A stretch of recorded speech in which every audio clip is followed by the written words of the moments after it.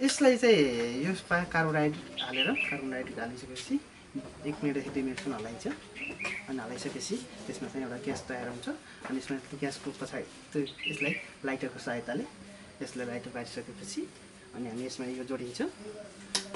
अनि लाइटर पड्कि केही छैन यसभित्र केही प्रयोग हुँदैन अरू। कार्बोहाइड्रेट र पानीको मिश्रण ग्यास बन्छ त्यो ग्यासले चाहिँ निक्लन्छ यो के छ? यो बन्दुक जस्तो धप्का मार्ने अथवा त्यस्तो केही हुन्छ केही यसमा? हुँदैन। ब्याग केही आउँदैन कम्प्रेस आउँदैन।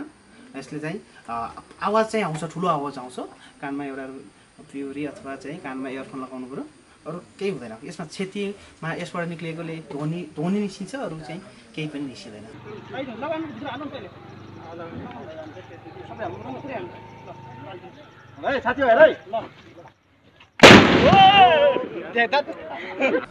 नमस्कार।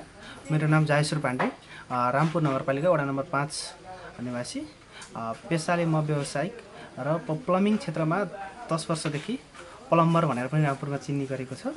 मैले पाइप सम्बन्धी खानेपानी सम्बन्धी आजभन्दा दस वर्ष अगाडिदेखि निरन्तर काम गर्दै आएको र सँगसँगै व्यावसायिक रूपमा चाहिँ पसल पनि आफै सञ्चालन गर्दै आएको।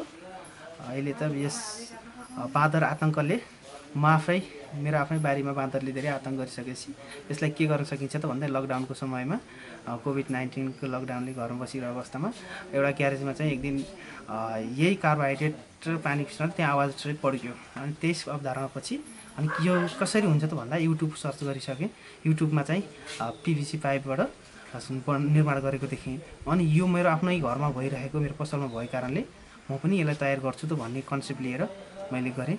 अनि त्यसपछि सफल भइसकेपछि रामपुर नगरपालिकाको मेयर साहबलाई रमबहादुर थापालाई भने सर यस्तो यस्तो बनेछ भनिसकेपछि ल हुन्छ परीक्षण गरौँ भन्नुभयो।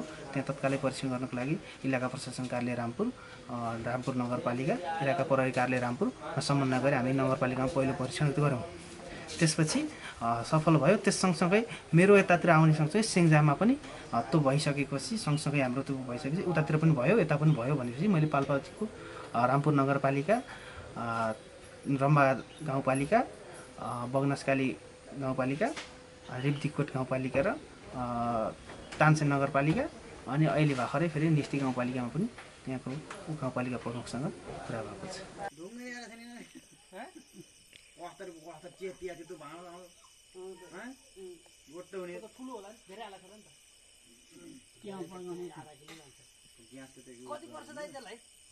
त्यो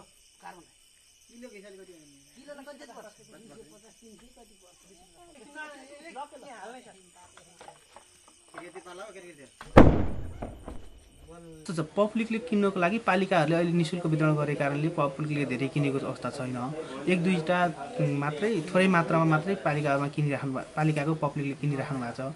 प्रायसँग रामपुरमा कालीगण्डी फाउन्डेसन नेपाल भन्ने संस्थाले वितरण गर्यो। त्यो र रामपुर नगरपालिका समन्वय गरेर वितरण गरिसकेपछि त्यहाँका मान्छेले किन्नु आवश्यक नदेखेर होला धेरै चाहिँ किन्नु भएन। किन्दा यसको कस्ट चाहिँ हामी अहिले तिन हजार रुपियाँमा यो सबै सेट नै कार्बोहाइड्रेट पानी के अरे कार्बोहाइड्रेट अनि लाइटर अनि यो सेट ग्लोभ्स सबै दिइराखेको अवस्था छ। यो नेपालमा तपाईँले पहिलोचोटि हो कि अरूले योभन्दा पहिला अलिक के थियो? हामी परीक्षण गर्ने सिलसिलामा हामी र सेङ्जामा चाहिँ सँगसँगै भएको थियो। मेरो पहिलो परीक्षण मैले युट्युबमा पनि हालेको थिएँ। तर मैले योभन्दा अगाडि चाहिँ युट्युबबाटै मैले हेरेँ कपी गरेको। नेपालीमै छ त्यो कि केमा छ? नेपालीमा छैन हिन्- हिन्दीमा छ। मैले हेर्दा हिन्दीमा थियो। ए भनेको यो नेपालभन्दा पहिला अरू देशमा पनि पहिला हुन्थ्यो बनाएको थियो पहिला? इन्डियामा हिन्दीमा भइसकेपछि युट्युबमा हिन्दीमा भइसकेपछि इन्डियाको भनेर चाहिँ।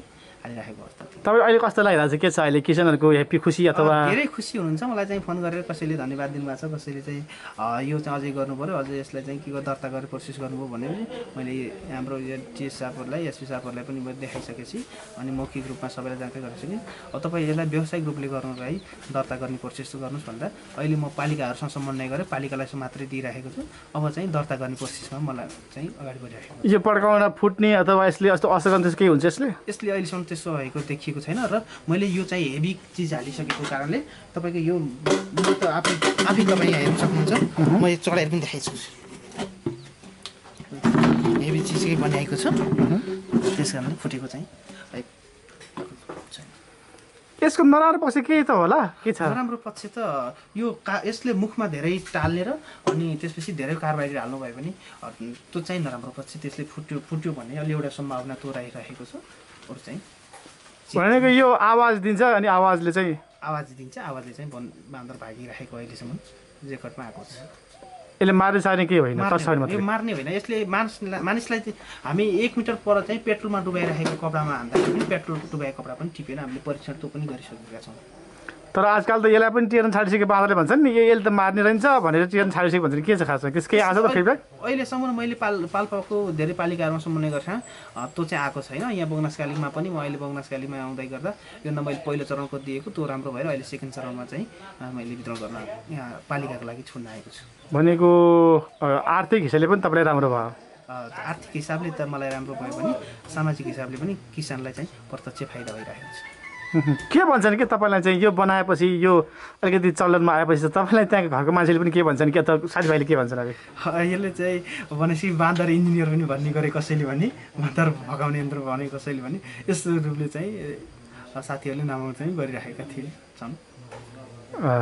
खासमा लगानी कति लाग्छ तपाईँको चाहिँ खासमा के हो यो? त्यसमा लगानी चाहिँ हामी हेभी किपिङ हाल्ने कारणले हामीलाई केही पर्सेन्ट मात्रै मार्जिन राखेर पालिकालाई दिएका छौँ। अब भावी योजना के छ तपाईँको चाहिँ। मैले यसलाई चाहिँ एउटा चाहिँ अहिले दर्ता गरेर यसलाई अलि अझै कसरी अगाडि बढ्न सकिन्छ र हामी ट्राई गरिरहेका छौँ हामी यसरी भनेका छौँ यसलाई भिड नियन्त्रण गर्नलाई पनि प्रयोग गर्न सक्नुहुन्छ भनेर हामी उहाँलाई पनि सल्लाह सुझाव दिइरहेका छौँ। प्रयोग चाहिँ बाँदर मात्र नभएर भिड नियन्त्रण गर्न आवाज आउँछ मान्छेहरू भागाभाग हुने सम्भावना हुन्छ र यसरी यसलाई मोडिफाइड चाहिँ गर्नुपर्छ। जस्तो? यसलाई चाहिँ सानो किसिमको बन्दुक आकारमा गराएर त्यो गरौँ भने आवाज आउँछ गोली हान्यो भन्ने हुन्छ एक किसिमको त्रास हुनसक्छ अनि भाग्न पनि सक्छ भन्ने एउटा चाहिँ देशसँग पनि यो कुरा चाहिँ भएको थियो। बाँदरलाई मात्रै नभएर। सलहताको लागि पनि हामी कुरा गरिरहेका थियौँ। सलह मैले रामपुरमा परीक्षण गर्छु भनेर बसेको थिएँ रामपुरमा सलह आएन। त्यस कारणले मैले परीक्षण गर्न पाइनँ। तपाईँ के भन्नुहुन्छ आम श्रोता दर्शकलाई चाहिँ तपाईँको बाँदर वैज्ञानिक जस्तो भनौँ न तपाईँलाई चाहिँ त्यो रूपमा भइरहेको छ भने के भन्नुहुन्छ? अहिले के भन्छ नि बाँदर बाँदर आतङ्क भइराखेको अवस्थामा यसले किसानलाई धेरै राहत भएको छ। प्रयोग गर्नुहोस् पालिकाहरूमा चाहिँ सम- समन्वय गर्नुहोस्। यसले चाहिँ राहत भएको छ अहिलेसम्मको परिवेशमा। अब पछि बिस्तारै सरले पनि भन्नुभयो खोइ भागे छैन अरे भने भागे छैन अरे भन्ने त अहिलेसम्म सुनेको छैन सुन्न पनि नपरोस्। प्रयोग गर्नुहोस् सब्सिडी चाहिँ आफू अप्नाउनु होला यसमा कार्बोहाइड्रेट धेरै नहाल्नु होला त्यही भन्न चाहन्छु। अब यो तपाईँको सिप के छ अरूलाई पनि सिकाउनु पर्छ भने सके? अब होइन यसलाई चाहिँ भने के छ खास भयो? यो यस्तो यो चाहिँ सम्बन्धित सिकले हामी कसरी सिक्छौँ भनेर आयो आएको खण्डमा मैले गर्नुपर्ने सिपहरू। पहिले म टेक्निकल लाइनको पनि मान्छे हो। योभन्दा अगाडि मैले प्लम्बिङ तालिमहरू पनि सञ्चालन गरेको थिएँ। यो पाइपहरू पनि जडान गर्न त्यस त्यस कारणले चाहनुहुन्छ भने म सम्बन्धित पालिकाहरूले सिकाउनुमा म सिकाएर पनि अरूलाई पनि दक्षिणाउन चाहन्छु।